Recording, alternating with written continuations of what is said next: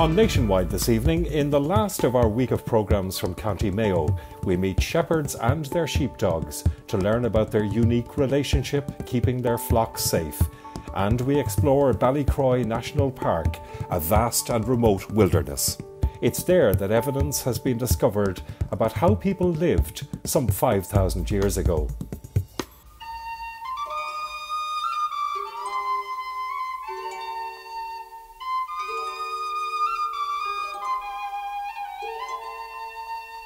As they have done for centuries, shepherds have ensured their sheep may safely graze on high in terrain that hasn't changed much through the ages.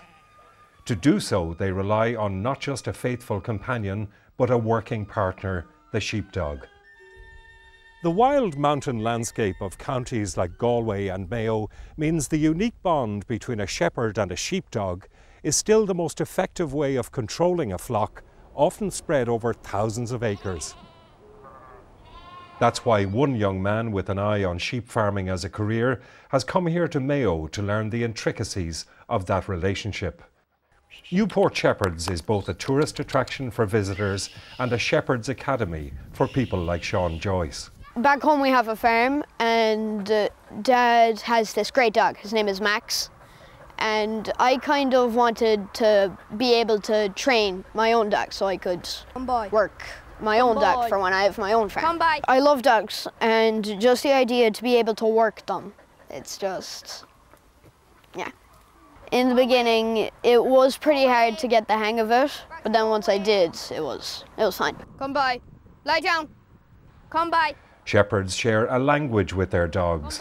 Come by can mean turn left, stand, wait, steady are all other clear commands. When the dog hears the words That'll do. It knows its work is done and it's time to stop. Actually, that'll do. It's a language that has ensured the dog's genetic stealth is even more finely tuned. Dad didn't think he was the best because, well, he didn't know the come by command. He just done away and point in the direction. Scientists now believe sheepdogs are programmed to work on two simple principles herding the sheep together by closing gaps between the sheep, and then, having closed that gap, driving the sheep forward. Sean is already learning about the qualities that make a good working dog. I think a good sheepdog is a dog that knows the commands or the instructions and a dog that isn't too sticky, like too tight around them, or too loose, so they're not too far away. What makes a good shepherd? A good shepherd is someone who knows the difference between a good dog and a bad dog. Sean's family are happy to see his interest in working dogs develop. Our older dog is now fully retired, and uh, so Sean has a young pup for himself, and he wants to train her himself. And he is he in time wants to go dog trialing with her. So he wants to learn from people that are experienced in that area. We would have a hill farm and we would only use uh, dogs on the hill sheep, really. So for, for trialing, he's coming here to people that are more than capable of tra training him, him and their, the dog, hopefully in time. Attention to detail is incredibly important in, the, in that area. So that's why I wouldn't have any experience in, in, in trialing. And uh, so coming here with Paul, he's started to uh, uh really get to terms with the whole idea and the concept of it and getting the commands right and, and, and that. For farmers like the Joyces, a good working dog is an invaluable partner. A dog is, is number one, a companion and around the house and that, and, and, and, and a very good family pet, but an incredibly important tool. There's, I have no piece of equipment or machinery in our farm that's more important than the dog. cannot have hill sheep without a, a very good dog. Newport sheep farmer Alan Moran and Chilean dog trainer Paul Walker set up their business last year. Newport Shepherds is now a popular place for people to visit and see how sheepdogs learn to work with their flock. It's very rewarding to, to share our life and like I, I, I see ourselves as being very lucky to live who we are and work with dogs and work with with nature and people and to share our experiences. I think it's it's uh, it's very rewarding for us.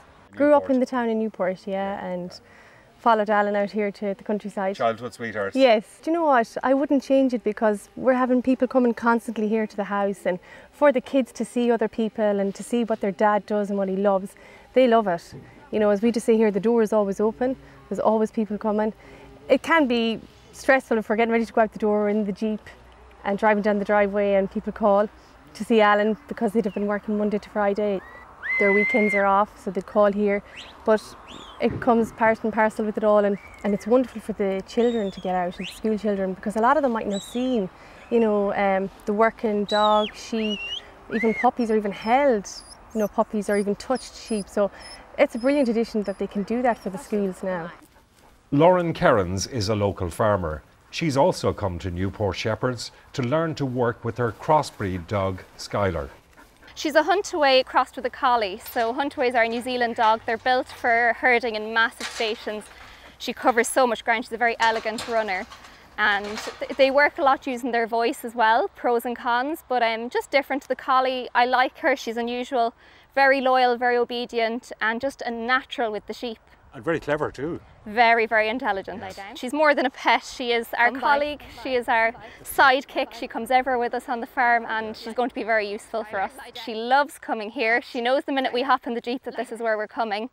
And she's very impatient. I often get the chance to run some of the other dogs because I'm a beginner as well. And she doesn't like to wait her turn. She's very keen to go. She's only started her training and we've only been to a couple of sessions, but it's just great to see the progress. She's a quick learner and I'm just just about keeping up with her. These are a little bit young, they're only three weeks, but um, they will be superstars one day. Tess is the, the best bitch from uh, Paul, and she's bred with the best uh, dog from Alan, Sweep. Will you find it hard to say goodbye to them? Yeah, you can co- become very attached to puppies, right? They're just, they're great therapy, you know. If you're feeling s- any way down, spend a few moments with a puppy and you're feeling much more relaxed.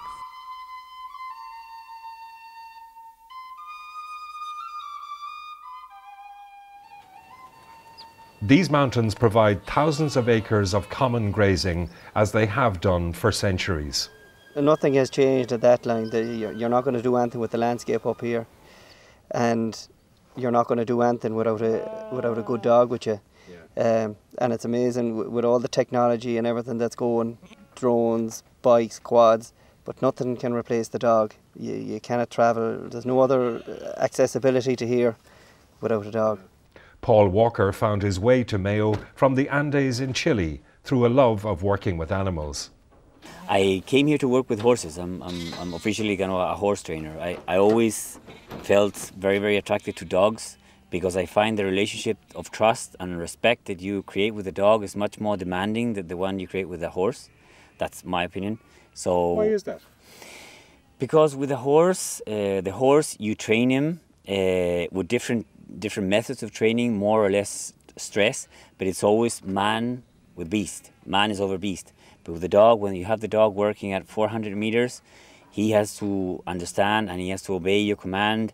He has to trust you and he has to respect you. So developing that relationship, according to me, is much more difficult and demanding on your part than the one that you can create with a horse. If anyone knows the qualities required for a dog to fulfill a working role that requires such stamina and cunning, these men do. Personally, I like the t- good temperament. I like them to be friendly. I like them to have a good feel for sheep, uh, natural ability that's uh, that's inherited, and well stamina and looks if, if you can. But mostly is good temperament and, and a good feel for sheep. Same for you, Alan? Uh, very same, very same. Yeah, those things: power, stamina, and uh, yeah, the temperament. So there's nothing more rewarding than than going and picking a young pup or buying a young pup, rearing them yourself, and seeing them grow and develop, and, and then turn them into a, a- a useful working dog. It's I can't think of anything more rewarding. They believe, however, that dogs like these are not suitable as domestic pets. a work dog has to be bred to work and you have to have an active lifestyle and you have to treat him with respect you know having a work dog that is highly driven for work locked up in a kennel or locked up in a, in a small yard is cruelty so we really Uh, emphasize that a work dog has to have physical activity a good food a good handling has to have boundaries in their mind mm-hmm. If not, they can turn out to be problems. And they, they're, it, what we receive is, is product of many, many generations of, of selection done by farmers, so we respect them. Mm-hmm. Did you ever look at a good dog and wonder, was he or she more intelligent than you were? Yeah, we do. it's something that's just built in. It, it, it cannot be taught. It's, it's pre-programmed there through centuries of selective breeding. Voice commands is when the dog is nearby and he can hear you. And the whistle is, is, a, is an instrument to make uh, contact with the dog when he's far away and he and so it carries it, further. It, yeah, it could be wind or it could be distance. Yeah. Alan Moran is a fifth generation sheep farmer still facing many of the same challenges as his forebears. The wool from his sheep is, however, no longer of much value. It's tough, especially when you're trying to make a living on the type of land that we have here. As, as you can see, it's, it's, it's marginal, it's hilly, it's, uh, it's not very versatile, so um, it, it's tough. There'd be what, there could be 400 kilos of wool there. Um, if, if it made 50 euros, it'd be about it. So wool is worthless? It's worthless really, no, yeah. Um, the only reason we're taking it off is for the welfare of the animals. You know, it has to be taken off yearly um, to, you know, stop the sheep getting um, different sort of illnesses. And, and can any use be made of this wool? Um, they're badly trying to find a market for it now. I, have heard of um, that they're trying to um, use it for insulation in houses and stuff like that. But this wool is, is a lot more coarse than the lowland sheep. Now the lowland wool is worth more than this. The most common sheep in this area are blackface sheep, originally from Scotland, as are border collie sheepdogs. Hardy and suitable for mountain conditions, both have adopted to their challenging environment. Well, to be able to survive on the, we're right on the edge of Europe here, and we're getting the first rattle of the, of the Atlantic you know, all sorts of weather, and they can survive in areas, and not only survive, but they can thrive in areas where other sheep just wouldn't wouldn't be able to live. The survival rate is actually very very high, bar now maybe um, going into a into a hole in springtime when they're a bit weak and they're carrying lambs in springtime. They're under that extra bit of pressure, and if they come across a flood or you know a soft spot, uh, a few can maybe get caught, but uh, as a rule, they're agile and they're able to spring across these wet places. And they're great they're great sheep to forage they'll just even uh, two or three foot of snow. Wouldn't bother them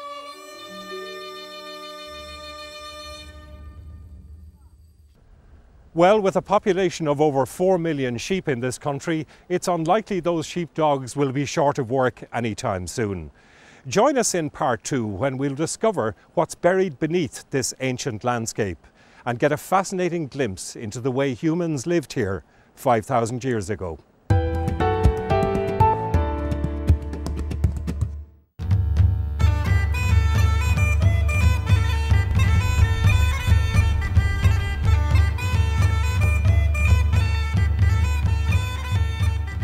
You're very welcome back to Nationwide and to one of the country's true wildernesses here in North Mayo. If proof were needed of how little has changed in this landscape for thousands of years, then the discovery of human remains in a cave here provides a unique glimpse into how people lived here 5,000 years ago. I was lucky enough to stumble across um, boulder chambers up in the mountains in the Nephin Beg Range behind us and uh, made the discovery of up to 10 individuals who were laid to rest inside in the caves dating back to 5,600 years ago. It's a find that has been described not just as rare, but incredibly important. This is a hugely significant find, not just for County Mayo, but for the country as a whole. Uh, the site was very, very well preserved. And when Michael Chambers went into this little cave in 2016, he was probably the first person to go in there in about four and a half thousand years. What we found at that site was that um, the dead had been brought to this little cave before placement at a burial place much later on. Neolithic people, starting about five and a half thousand years ago, had dug a little pit in the cave and they would bring corpses of the dead up to the cave and lay them out in this pit. And the corpses were left there for maybe six months or 12 months. And then people came back after the flesh had decomposed. They collected the larger bones, the skull bones, the arm bones, leg bones, and removed them for burial at a different location. So we had two adults who were over 45 years of age, and this would have been considered quite elderly in the Neolithic during this Stone Age period. We also had younger adults, we had teenagers, we had two younger children, and we also had a young baby who was only a few months old. Thankfully, ancient DNA analysis was possible on two of the individuals, and this has given us a lot of information. The two individuals were two adult males, and again, the, the DNA analysis provided some fascinating results.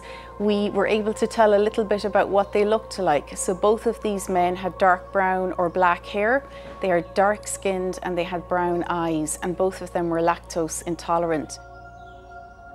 One of the, the most important things about this site is it's a part of the jigsaw that we had been missing for a long time. So we know that people were dying during the Neolithic and we have lots of the burial monuments where we find bones ending up as final burial places.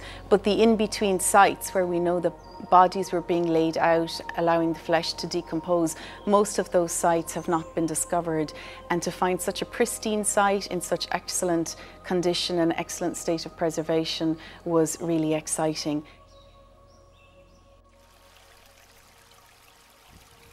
Limerick-born writer, poet and naturalist Sean Lysaght made his home here over 20 years ago. For him, this area is a constant source of inspiration. The bottom line is that there is such a record of human history and human experience in a place like this, even though in many respects it seems to be just a byword for emptiness and desertion. Um, people use words like bleak uh, to describe it, or wild is the, is the new uh, buzzword, if you like. But people have lived in these places since ancient times. There is a recognition now that uh, North Mayo has a landscape that is given to us on a scale that is quite unusual. He's not one of those who might resent having to share a unique place with others. The Ballycroy National Park covers, after all, 15,000 hectares, approximately the size of 15,000 rugby pitches. If we have more people with that kind of um, conservation ethos, I think it will help the prospects of this area. I think some of the aspects perhaps of neglect that have been there in the past have reflected on the fact that there haven't been enough visitors, there haven't been enough people with the kind of um, the, the outside view.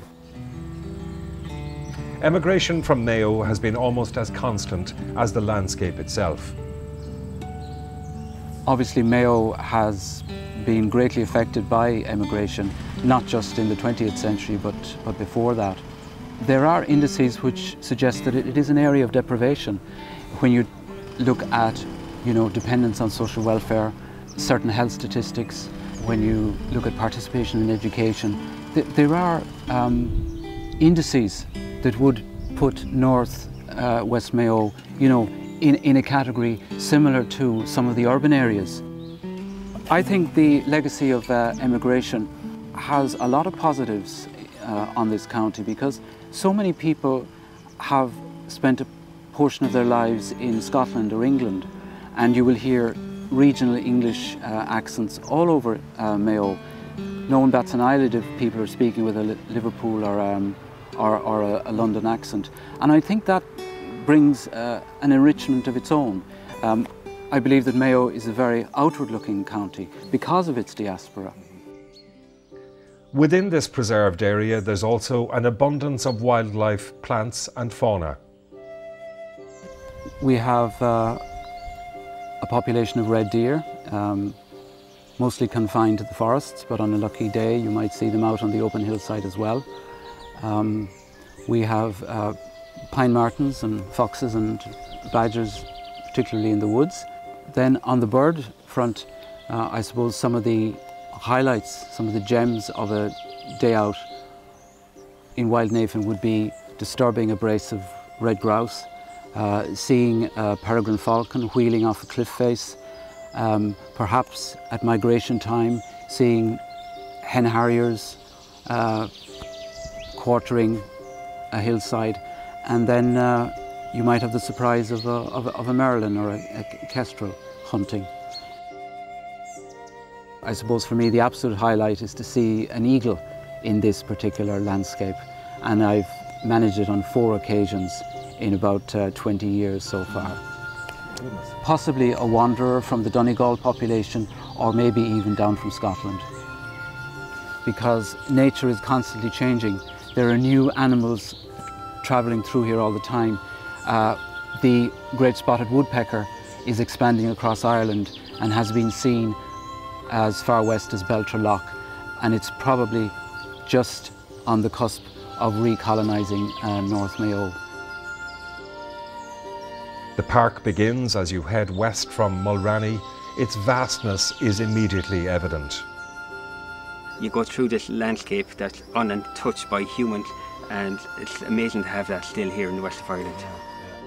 The park's biodiversity is carefully managed. The heather has been let go freely again, so you see the hares coming back down from the mountains and the foxes and whatnot. And it's important that we look after this and keep it as wild as possible for these animals to thrive. We're seeing a lot of kestrels uh, beginning to hover over the boglands, which is a great indicator that there's mice and, and common lizards making their way back. Also, you'd have peregrine falcons nesting in the hills around here, and uh, the sea eagles do often make an appearance circling around the mountains and head, uh, heading out again. We do tell people if they keep their eyes open, you see a wide range of biodiversity. And I know a lot of people like to see the bigger stuff, but the smaller stuff is just as equally as important. Over in our dipping pond there, you'd see a wide range of animals such as diving beetles, dragonflies, damselflies, and uh, back swimmers. And then as you walk along the trail itself, you'll see lots of caterpillars, you'll see beetles crossing around. And if you're lucky enough, you'll see an odd mouse shrew popping up across the trail, and even a mountain hare. And just nearby us then on the Claggan Coastal Trail, you'd see the otters coming in from time to time and seals out in the waters and then a wide range of different kind of wading birds coming into the shore. Well, here at the Visitor Centre, we've a lovely family-friendly two kilometre loop trail and one nearby us in the Claggan Coastal Trail. And on the far side of the park, for the more adventurous people, we've lot larger loop walks that go up to 13 kilometres off trail walks and the Bangor itself, is tra- itself which is 40 kilometres in total distance from Newport to Bangor. 30 kilometres of that will bring you right through the wilderness of the National Park. But you can easily have the, the, the mini shorter experience here within that, that short walk around. For the family starting off and uh, people who just want to get a taste of it, you could come down here and um, you get a good taste and feel of the national park. Plus, we bring you out and show you the wild meadows and, and show you all the biodiversity that you can expect. Mayo people may enjoy one of the most